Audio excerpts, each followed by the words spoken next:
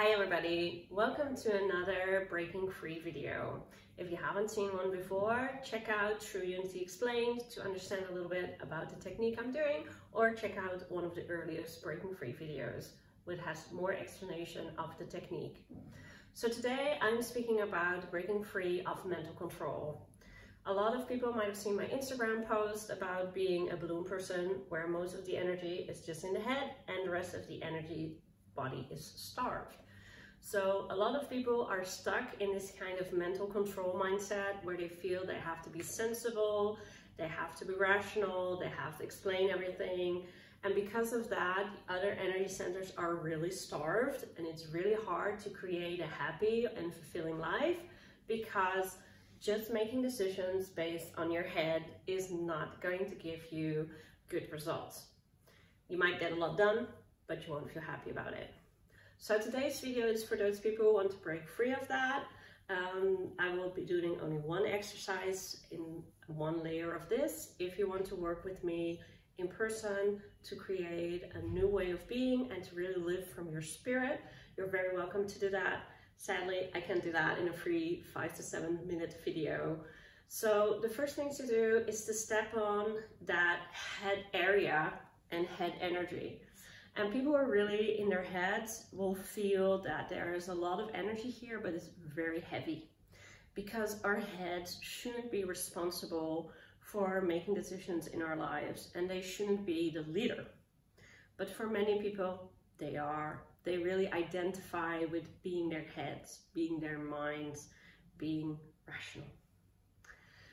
So if you're a headspace person, you will probably feel a lot of stuff going on and you notice that you're constantly worrying and this area is very heavy. So what we really want to do is to free your head to uh, take its rightful place. So the first thing to do is really to release this idea that your head is the best leader of your life. So the first thing to do in your headspace is just give yourself the freedom to be all of you. Just take this energy of freedom and acceptance and bring it to yourself. Um, I do bring it to my heart area now, but if you're really a head person, you might want to bring it to your head. And to really feel this freeing energy. So if you did this, you might see that your head area is becoming more relaxed, like it just laid down this really heavy burden. So the head is free, but now it should take its rightful place. And that means that the head needs to be connected to all parts of you.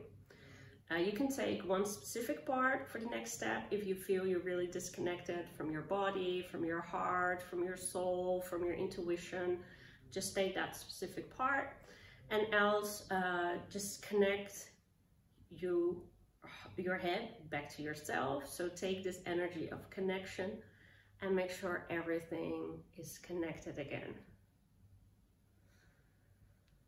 So gently breathe in and out to establish these connections. You might sense an energy flow going up or down. And in your headspace you will find another energy of calm and relaxation. So now the thing I always do to finish this is to actually get back to who the real leader is. So if everything of yours is connected and is ready to be integrated, you know, you cannot make decision by committee. So if you have this big round table and it has your instinct, your intuition, your body, your heart, your mind, you cannot you know, work by committee because your head and your heart sometimes have a conflict or your body and your instincts sometimes have a conflict.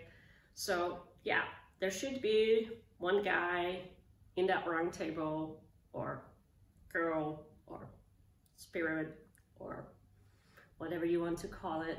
One energy that's able to talk with everybody and that's able to mediate all the conflicts and that is able to help you move forward. So for me, that is soul. Some people might be more comfortable with spirit or a higher mind. And that's the one that really knows what your soul purpose is. That's the one who's really going to help you to take the best decisions for you and it will listen to all parts of you and solve conflicts between them.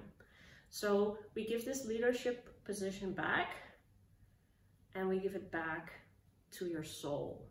Just give it over so that your head can have its rightful place on the table as a piece of you that will be listened to and that will be consulted. But it in the end, needs to follow your spirit, your soul, your higher mind. And when you do that, you might for the first time in your life feel that your headspace is quiet.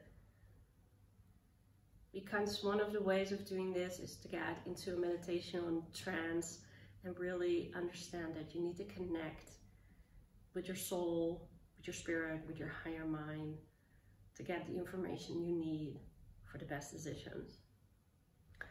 So bringing this headspace to the sense of peace and quietness is really going to help you to live a fulfilling and happy life and to invite uh, your higher mind, your spirit, your soul to take the decisions and bring you to the flow of miracles.